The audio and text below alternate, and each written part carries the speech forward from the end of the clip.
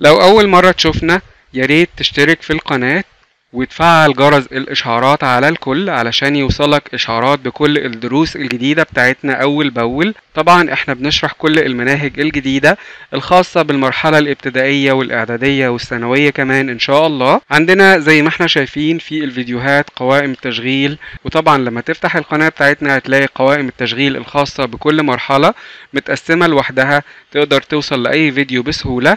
وما تنساش تتابعنا على صفحتنا والمجموعة بتاعتنا على الفيسبوك. السلام عليكم ورحمة الله وبركاته. معاكم مستر حسام الصياد من قناة فلاش التعليمية. افهم وتعلم ببساطة. ازيكم يا أصحابي؟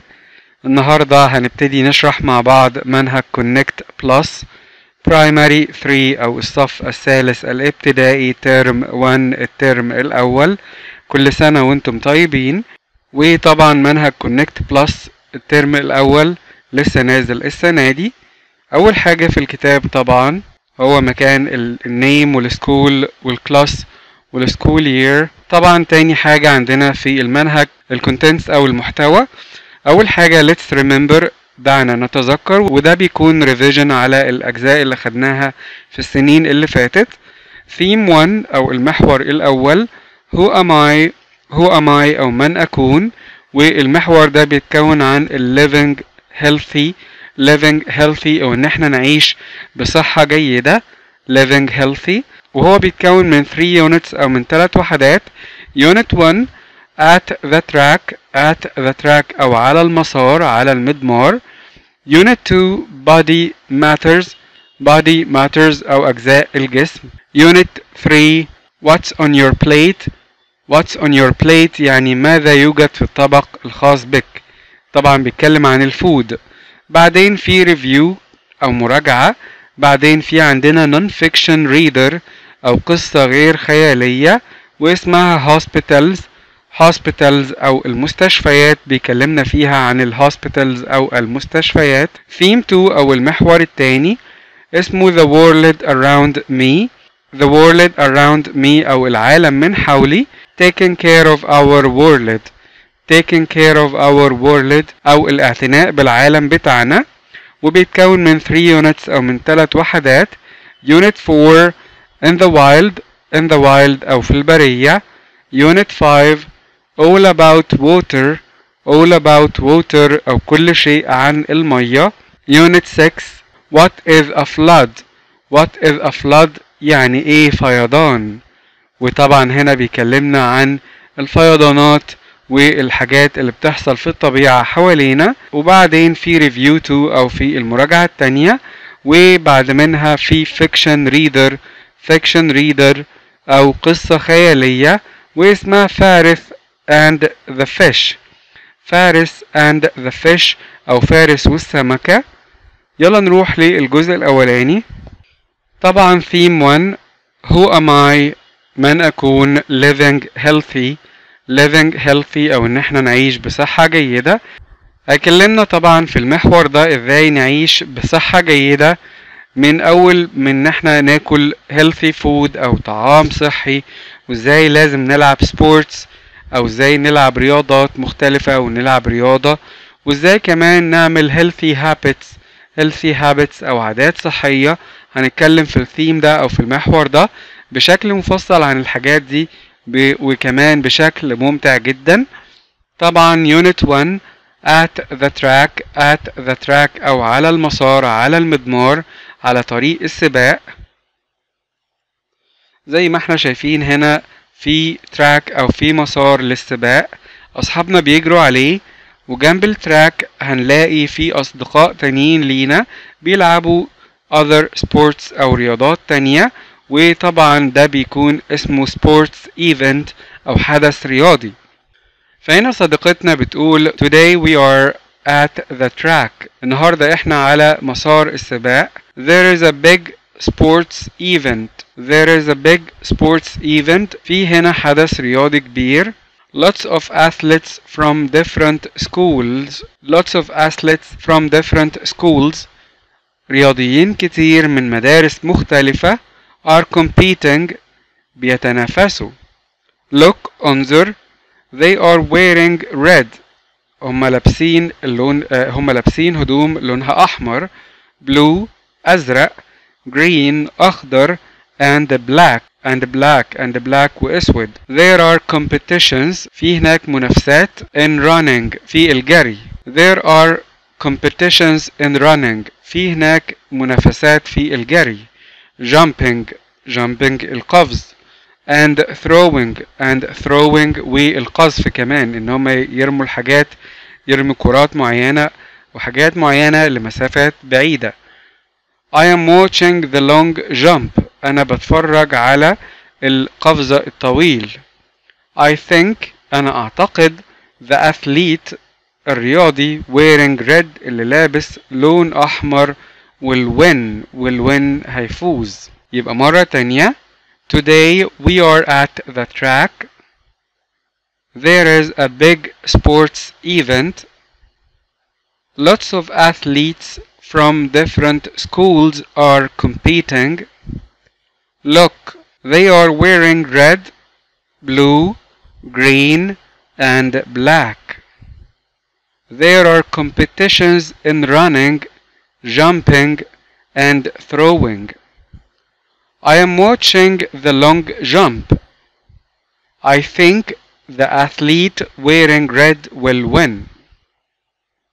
طبعا يا أصحابي لازم نتدرب كويس جدا على ال reading وعلى ال writing كمان لأن إحنا خلاص كبرنا والمفروض المفروض السنة الجاية هيكون عندنا exams أو امتحانات إن شاء الله وهتقيس القدرات بتاعتنا ومستوانا فلازم نكون شاطرين في ال reading وال writing علشان كده لازم نتعلم إن إحنا نعمل pause على الفيديو أو نوقف الفيديو ونحاول نقرأ لوحدنا وبعدين نشوف إحنا بنقراها إزاي صح ولا غلط ونسمع الفيديو مرة تانية. وهنا Busy Bee صديقتنا العزيزة بتقول لنا read and circle.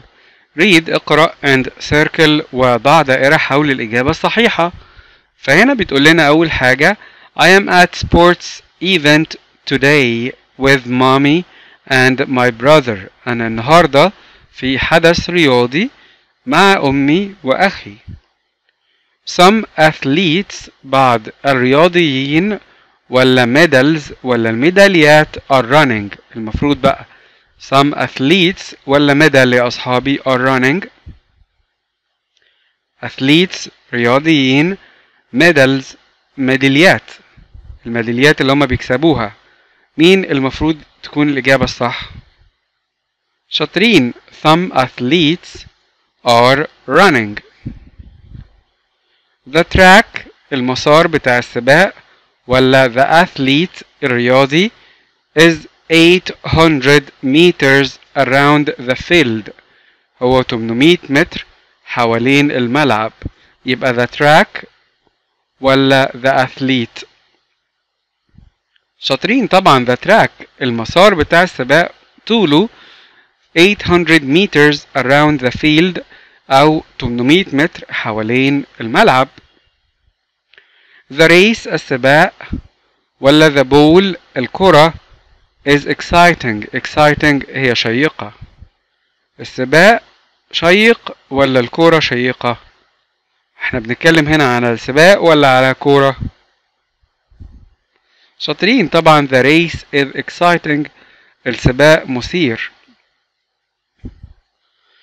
The athletes الرياضيين are running very quickly بيجروا بسرعة كبيرة I hope وليد أنا أتمنى إن وليد wins ولا throw today wins يعني يفوز و throw يعني يرمي today I hope وليد wins ولا throw today طبعا أنا لما أتمنى إن واحد بيفوز ولا أتمنى إن هو يرمي النهاردة؟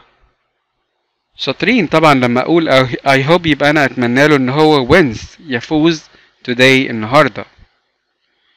There is a throwing competition النهاردة في مسابقة رمي. Two أيضا You have to يجب عليك أن throw إن أنت ترمي ولا jump إن أنت تقفز. The ball as far as you can. إن أنت ترمي ولا إن أنت تنط الكرة أبعد مكان تقدر توصل له. يبقى في ال throwing competition أو في مسابقة الرمي. المفروض إن إحنا بنرمي ولا بننط الكرة أبعد مكان نقدر نوصل له. شاطرين you have to throw. إن أنت يجب عليك أن ترمي the ball الكرة as far as you can. لأبعد مكان تقدر توصل له. 3 meters 3 متر. is a good هي كويسة. race ولا distance. race يعني سباق و distance يعني مسافة. for throwing the ball. لرمي الكرة. شاطرين طبعا. 3 meters is a good distance هي مسافة كويسة إن أنت ترمي فيها الكرة. Someone شخص ما measures بيقيس ولا competes بينافس how far the athlete threw the ball. قد إيه ال ال الرياضيين رموا الكرة. يبقى هو بي measures ولا بي competes measures يعني يقيس و compete يعني ينافس. شاطرين طبعا measures measures يقيس. في شخص ما بيقيس المسافة اللي بيرميها كل واحد من الاثليتس اللي بيلعبوا لعبة throwing أو الرمي That athlete هذا الرياضي competed نافس ولا measured as in a sports event and won في حدث رياضي وفاز يبقى that athletes competed ولا measured competed يعني نافس و measured يعني قاس شاطرين competed هو نافس في حدث رياضي أو in a sports event and won and won وفاز فاز بالفعل won طبعا ماضي win الماضي بتاع win he can هو يستطيع jump يقفز ولا distance ولا ولا distance مسافة really high really high عالي فعلا يبقى he can jump ولا distance شاطرين he can jump really high هو فعلا يقدر يقفز عالي فعلا. Now الآن he is getting a دلوقتي هو بيحصل على a track مسار السباق ولا medal medal ميدالية الفوز. يبقى now الآن he is getting a شاطرين medal medal اللي هي ميدالية الفوز. ونتنقل للجزء اللي بعد كده خليكم معايا. وهنا أصحابنا بيزي بي بتقول لنا think فكر and say وقل. فهنا أصحابنا بيتكلموا عن إيه الحدث الرياضي اللي هم بيحبوه. What sports events do you like? إيه هي الأحداث الرياضية اللي أنت بتحبها؟ What sports events do you like? فهي بتقول له I like throwing. I like throwing. أنا بحب الأحداث الرياضية اللي فيها لعبة الرمي فهو بيقول لها I like jumping. I like jumping. أنا بحب الأحداث الرياضية اللي فيها لعبة القفز. طبعا من الكلمات المهمة اللي لازم نعرفها كويس athlete athlete يعني رياضي رياضي شخص رياضي athlete. compete compete يعني ينافس. compete distance distance يعني مسافة distance jump jump يعني يقفز jump measure measure يعني يقيس measure medal medal يعني ميدالية ميدالية الفوز medal race race يعني سباق race through through يعني يرمي يعني يقذف through.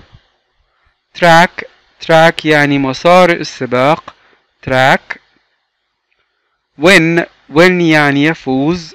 Win event event يعني حدث. Event. وزي ما إحنا شايفين هنا بيزي بي بتقول لنا listen read and say. اسمع أنا هقرأ إزاي؟ وبعدين أنت هتقرأ لوحدك وتقول كمان. أول حاجة في الصورة الأولانية هنا مكتوب تحت منها هي طبعا فيها 3 athletes أو 3 رياضيين هيجروا وهيسابقوا بعض.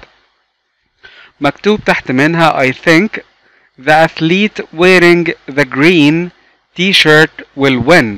أنا أعتقد إن الاثليت أو الرياضي اللي لابس تي شيرت ده هيفوز. Will يعني سوف win يعني يفوز. وخلي بالكم من كلمة will يعني سوف لما بنتكلم عن حاجة هتحصل في المستقبل بنقول عليها will أو سوف. لسه ما حصلتش. يبقى مرة تانية I think the athlete wearing the green t-shirt will win. أنا أعتقد إن ال- الرياضي اللي لابس تي شيرت ده will win. سوف يفوز. في number 2 مكتوب تحت منها I think our school أنا أعتقد إن مدرستنا will get a medal today. هيحصل هتحصل على ميداليات الفوز على ميدالية فوز today النهاردة. يبقى مرة تانية I think our school will get a medal today. أعتقد إن مدرستنا تحصل على ميدالية فوز النهاردة. Number 3 will it be a good competition. Will هل سوف؟ لما أجيب will في أول الجملة وأجيب فيه علامة استفهام في الآخر فبالتالي هنا أنا بسأل سؤال وبيكون معناه هل سوف؟ لما أجيب will في أول السؤال وأكمل السؤال عادي وأجيب في الآخر الكويستشن مارك أو علامة الاستفهام ده معناه إن أنا بسأل على حاجة هتحصل في المستقبل وبيكون معناه هل سوف؟ فهنا بيقول لنا will it be a good competition? هل هي هتكون منافسة جيدة؟ Will it be a good competition? هل هي هتكون منافسة جيدة؟ Will it be a good competition? هل هي هتكون منافسة جيدة؟ في نمبر 4 بيقول لنا هنا it won't. Won't هي عبارة عن will زائد not. Will زائد not يعني لن يحدث في المستقبل لن يحدث في المستقبل. بنختصرهم مع بعض الاتنين وبنكتب won't W O N apostrophe T يعني لن يحدث في المستقبل. يبقى it won't be easy to win today مش هيكون من السهل إن إحنا نفوز النهاردة. It won't be easy to win today مش هيكون من السهل إن إحنا نفوز النهاردة. We will not اللي هي won't برضو بتتكلم فيها عن حاجة في المستقبل. بنستخدمها عن حاجة مش هتحصل في المستقبل. لما نقول ده مش هيحصل في المستقبل. يبقى عندنا will سوف يحدث وده في المستقبل. و won't أو will not يعني لن يحدث وبرضه في المستقبل. وبكده نكون أنهينا الجزء الجميل ده وأنهينا معاه درس النهاردة. أتمنى إن أنت تكون استفدت من الدرس. لو أعجبك الدرس اعمل like. أتمنى ألاقي ألف واحد استفادوا أو ألف like تحت الفيديو. ما تنسوش تتابعونا على صفحتنا على الفيسبوك والمجموعة بتاعتنا كمان.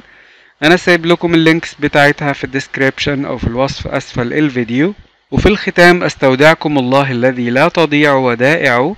والسلام عليكم ورحمة الله وبركاته.